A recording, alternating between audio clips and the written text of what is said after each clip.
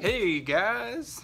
Uh, today we're going to talk about measuring mass and uh, as you can see we're in the lab again uh, measuring mass of objects. Um, mass is the amount of matter or as you guys would say stuff. It's how much stuff is inside an object.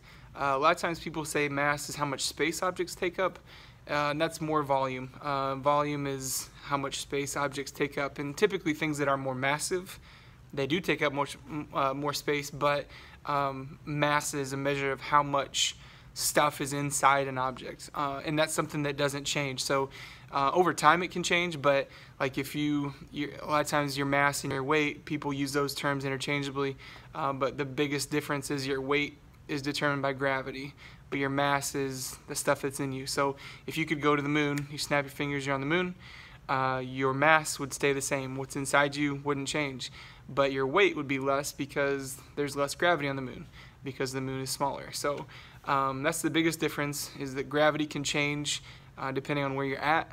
Uh, your mass is going to stay the same because that's the stuff that's in you. Like I said, over time people can um, add to or take away from their mass um, by putting on weight or muscle or uh, whatever, uh, but it's not like uh, instantaneously that your mass is just going to change right away um, unless you have some sort of tragic accident but all right.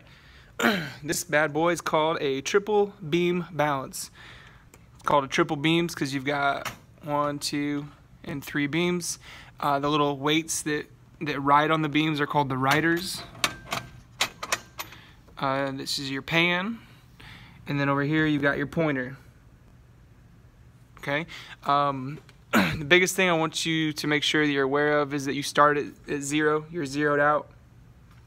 Um, and then your weights are zeroed out as well. Uh, you, you find an object, place it on the pan, okay? Your pointer went up, and now what you have to do is start with your hundreds rider. Um, my biggest recommendation as you do this is that you make sure that that notch the the arrow sits down in that notch and you can kind of, you can feel it you can hear it sit down right there. It kind of goes ka-chink ka-chink ka-chink. Okay so when you slide this that's too much that's too much weight okay so you slide that rider back. Now I go to my tens. Let me pull back a smidge. You slide over 10 at a time. So there's no more than 10 more than 20 more than 30 Oop, more than 40, more than 50, more than 60, more than 70, more than 80, but at 90 it, it dropped down. So I need to go back to 80,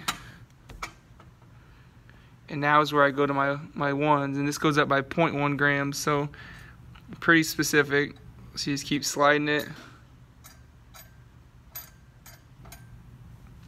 once it starts moving then you slow yourself down a bit uh, and you're trying to get it so that that's oops, my big finger tags the rider so I was a little bit fur a little bit too far so you back it up just a smidge I'm trying to get it so that it's pointing right at the line. It's pretty darn close. So then to find the total mass so I have zero hundreds and then it'd be 80 plus 8 point three.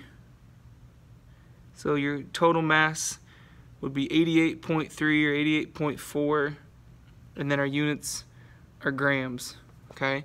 Um, so you're gonna have a lot of practice doing that uh, just make sure that the biggest thing is that the little arrows sit down in those notches that way because you can't say without doubt that you couldn't you can't get it to get it to balance and have it sitting like here and be like, oh, well, that's 75. You have no idea. You might be close, but you need to make sure that that arrow sits in that little notch every single time. That way you know for sure what the mass of that those riders are, the weight, what the weights are, so that uh, you can get an accurate measurement. Um, tomorrow we'll be dealing stuff with measuring volume, which is how much space objects take up. Uh, we'll be using graduated cylinders. Those big boys hanging out up here. and then uh, we find how much space things take up. So uh, keep practicing, keep practicing measuring length. Hey Albert. Hey. Uh, just make sure that you see me with any questions, practice stuff on Canvas. Um, this should be a pretty pretty good unit, uh, good good quiz for you guys. So we're still week week and a half, two weeks out. Uh, we're gonna do some metric conversions later, and um, what else we got? That's about it. All right. Good luck. We'll see you.